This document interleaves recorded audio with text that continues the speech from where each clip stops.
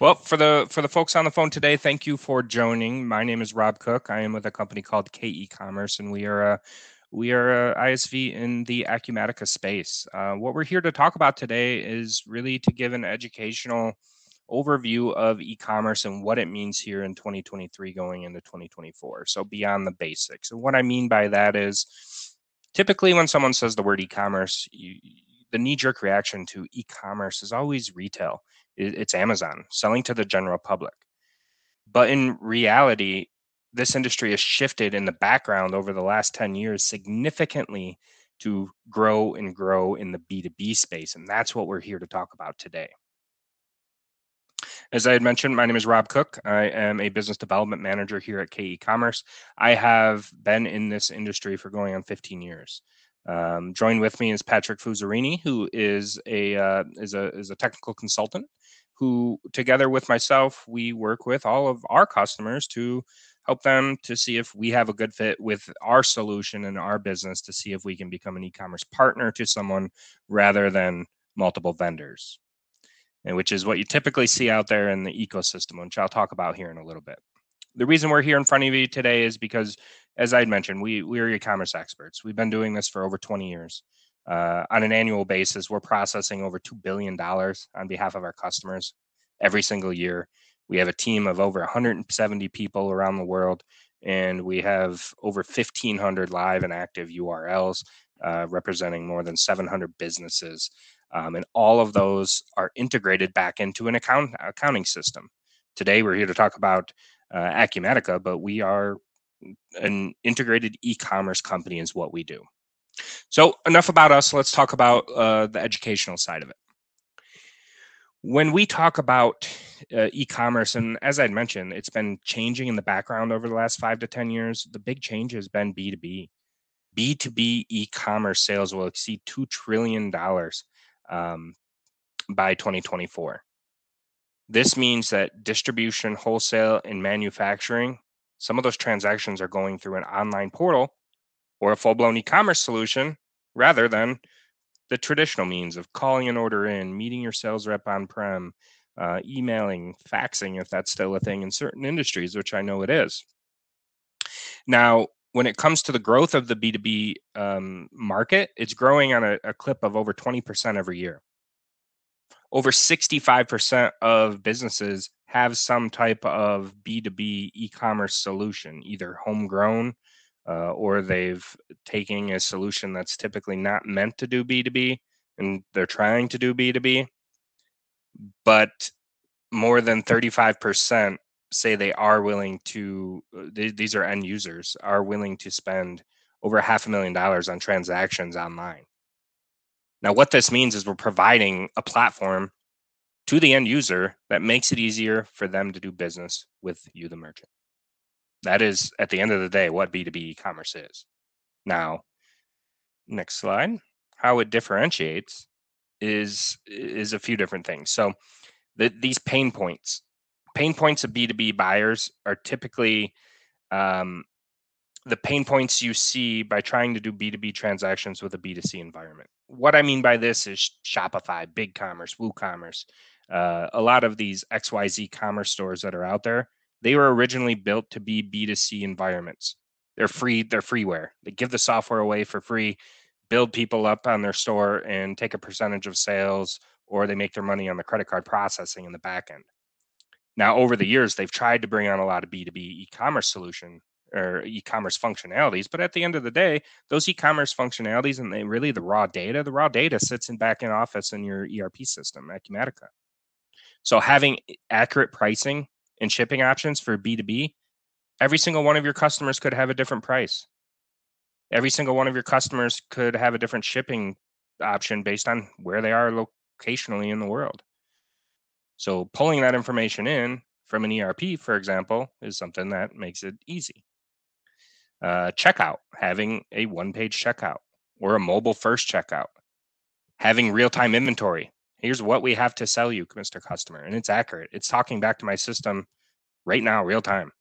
Uh, loading that website instantly, not having your customer sit there and waiting, being able to do that on any device. Uh, having that search functionality be clear, concise, that UI, that UX. They want to do it on a cell phone, great. They want to do it on a laptop, great. Full blown computer, even better, right? Put them in a solution that's going to work no matter what and how they're accessing it. Uh, data privacy. The information that I put into my site, we need to make sure that's uh, encrypted and secure. Fast forwarding, talking about PCI compliance with credit card information, even bigger.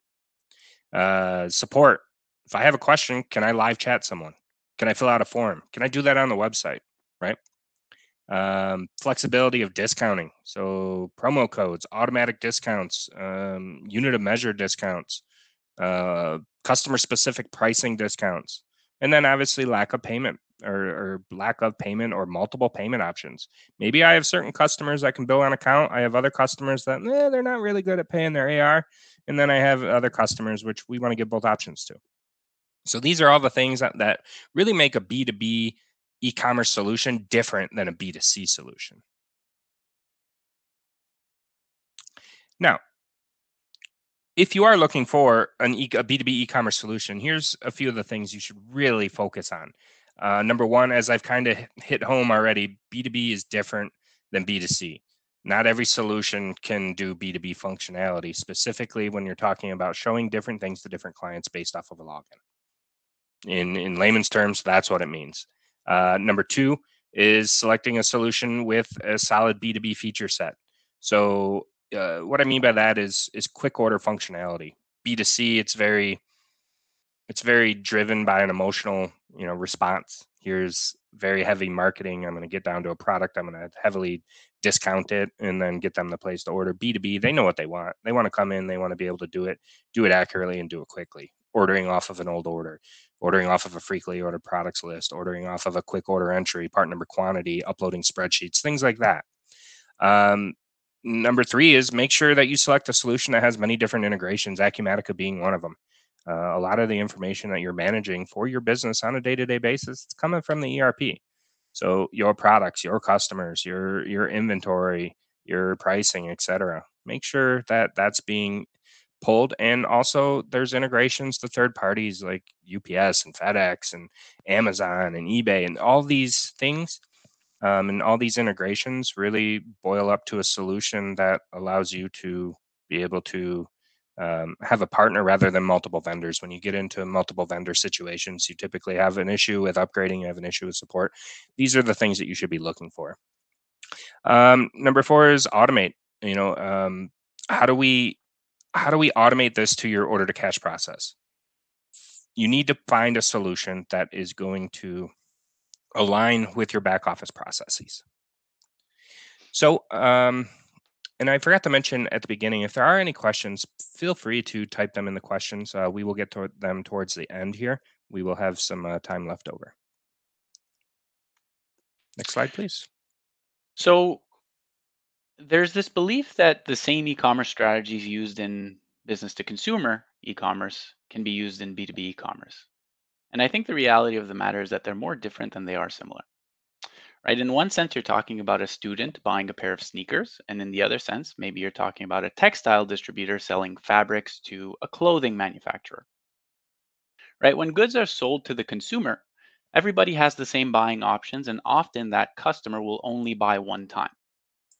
So, with that in mind, the focus of B2C commerce is what Rob was saying. It's often emotionally driven with lots of tools to sort of grab your attention. Um, an analogy here might be it's like finding the lone gazelle in the herd and striking quickly right away. And in some sorts, comparing to the hunt, uh, B2B commerce focuses on the farming mentality. The focus should be on the individual relationships held with these businesses or your customers. Because they might qualify for different pricing options. They might have different payment terms and they might have a ton of historical information that they need to have access to back office. And so as a result, order sizes in the B2B space are normally much larger. They're, they take a bit longer to uh, create uh, because it's more thought out. And the overall experience must be more personalized since it's primarily a returning customer base in that B2B space. They're buying more than one time. So now that we know that the road to get to our destination is different in the B2B world, the question becomes how do we get there? Right? What tools will make this journey easier? And the products that you should be offering your customers should be pertinent specifically to them. A classic example of this is one that Rob and I often come across. A business is selling large industrial machinery and they want to make sure that their customer only is able to purchase the replacement parts for that specific machine that they already own.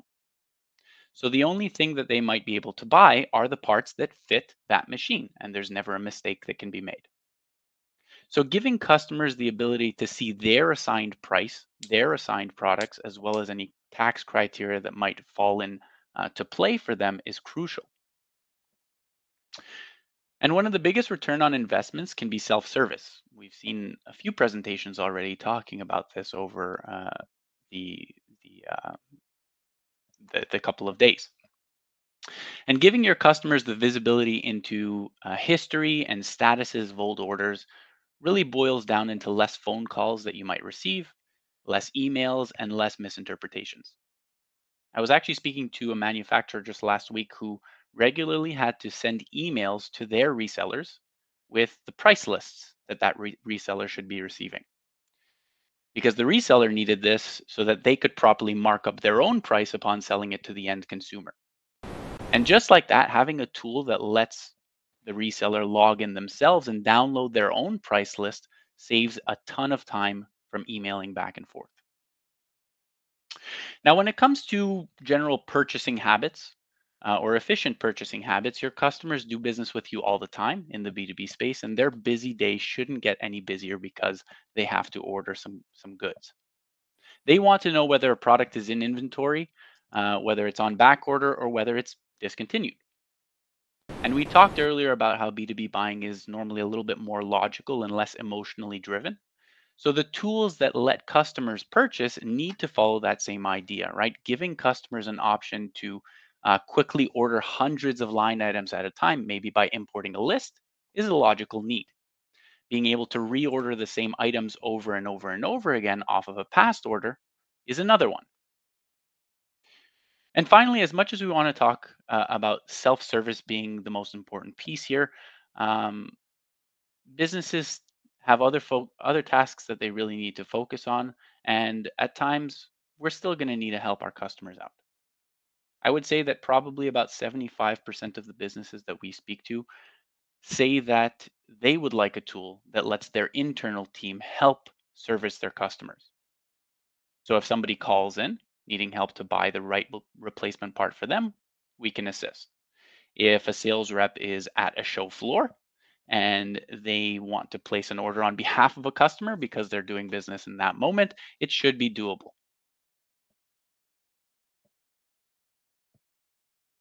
So I mentioned earlier that we need to find a solution that's going to follow the order to cash process. So when we're looking at an e-commerce solution, it can really touch on most of your internal processes. Number one, quotes. Can the e-commerce solution initiate a quote from a customer? Can it place an order on behalf of the customer into the ERP, uh, into Acumatica? Can it follow that order as it goes from staging to, to processing to fulfilled? Can it pull back the invoice? That was created off of the order that was sent over to Acumatica? Can it transparent transparent? Can it show the uh, the tracking information and give that transparency from that invoice online? Can it send automated emails to customers letting them know that their e-commerce or their orders have shipped? Can it show any and all orders, not just the ones that were initiated off of the e-commerce store online? Can it allow them to initiate a return online? Can it allow them to place a payment online? Can it allow them to uh, to see and have the ability to automate pre-authorizations and post-authorizations from those payments automatically based on things happening back office. That's what I mean by following the order to cash process with an e-commerce solution. It's not one that's disjointed from your back office accounting system in Acumatica. It's one that's bolted right onto it. It's one that gives you those functionalities. Next slide. So as you've been listening so far, uh, you might have realized that more data in a platform can potentially mean that it's harder to maintain. think of all the moving parts that we've been talking about, right? Price lists that are changing per customer, inventory levels that are always being updated, and order statuses, just to name a few. So I would argue that uh, integrating your e-commerce platform directly to Acumatica is the only way to truly take advantage of all the B2B specific features that we've been talking about. And there are many ways to integrate data between two systems, as I'm sure many of us here today know. Um, now, one way that we believe uh, works particularly well is through the synchronization of data. Essentially, it refers to keeping a separate copy of all the Acumatica data needed to run an e-commerce platform uh, in a cloud and synchronizing any changes that might occur between these two copies uh, to the correct environment. And what I mean by that is, let's say a price or an inventory level is changed within Acumatica. Well, that price is automatically changed on your online store. And similarly, let's say a customer orders or creates a new order online well, then that order should be created within Acumatica so that the two data sets are always identical. Now, this strategy means that the e-commerce platform can run much faster because it doesn't have to ask Acumatica for data whenever data whenever a new event occurs. So the example I often use is that let's say a customer searches uh, for something that gives 100 results on the website, 100 products show up on the screen. Now, asking Acumatica for pricing might trigger an event that needs to go get 100 prices from Acumatica. And that's ignoring the fact that there's also inventory that needs to be retrieved, item details, images, and so on and so forth. Right, so that's 100 prices because one customer did one search. Now expand that out to let's say 100 customers who all have different prices. All of a sudden, just for prices, you're looking at probably 10,000 prices that need to be retrieved. Right, with a synchronization of data, um, the data needed is already available on the online store. So nothing needs to be retrieved from Acumatica when that customer loads that page and makes that search. So just to piggyback off of what Patrick was saying there was it's all about scalability, right? Having that information for your customers quickly, accurately, and not having to go back and ping Acumatica every time right? We already have that information. We can show it to them right now. We're not going to hold the website up and make it think for a price or think for a quantity. It's going to be on there as soon as they log in. So, just final thoughts. Uh, what we've seen over the years is B2B buyers want streamlined processes, personalized uh, experiences, and a customer-facing platform that is that is theirs. That makes their life easier. It makes it easier for them to do business with you. Um, don't settle for a basic B2C environment that has you know bolt-ons to give it b2b functionality you need a b2b first web first um, cell phone first type of solution that's bolted right on to Acumatica. That is really the only true way to do B2B e-commerce in today's world. Um, if anyone has any questions, I know we do have a couple minutes here. We can get those answered right now. And then also please stop over to our uh, our booth here we are giving away a $250 Amazon gift card for anyone that comes in and fills out a poll. Um, and yeah, thank you for your time. We appreciate uh, everyone's attention. And uh, if there's any questions, uh, if anyone could read those out. Is there any in chat? I doesn't look like there's any right now. See any? Okay. Well, if anyone has one, we still will hang out here for a couple more minutes and we'll get those answered. If not, we look forward to seeing you guys at our booth. Thank you. Thanks, Patrick. Thanks, Rob. I'll catch you guys later. Just um, I'll uh, message you guys um, my email contact info so we can connect. Awesome. Thanks, guys. Perfect. I'll see you later. Thanks, Chris. So yeah, uh, Michael, I just saw your question. Yes, if you process an order directly in Acumatica, your customer will be able to see it on the portal. It shows any and all orders coming out of the ERP. Um, so essentially, day one, they could go back and see an invoice from or an order from five years ago if they wanted to. I think uh, just maybe to add to that, um, I think it's important to realize that the B2B portal is designed to give your customers a whole view of, of their business with you right it's not just about seeing their the orders that they place online and so with that philosophy or that mindset of course they should be able to see everything that they're doing with you if that includes orders that were manually typed or came from another channel, whatever it may be, EDI, it'll still be visible on the website for them to log in and view at any point in time and reorder off of actually. Yep. And it actually our our solution specifically is quite unique in the fact that it combines e-commerce and a lot of the other you know portals that you see out in the Ad- Acumatica industry in one. So yeah, they'll get all those portal features, but they'll also be able to do that ordering and do the quick ordering. And don't get me wrong, we do B2C or direct to consumer websites. It's just the easier thing to do. It's one price list and it's one quantity and it's one checkout term, which is pay up front. So, uh, but the uniqueness is we can automatically integrate it back into to Acumatica and Yeah. follow the order and invoice process, cash to order to cash process. Thanks for your question, Michael. All right. I think we have come to the end of our time. I look forward to uh, talking and chatting with anyone over at our booth. And thank you again for everyone's time today. Have a good rest of your conference.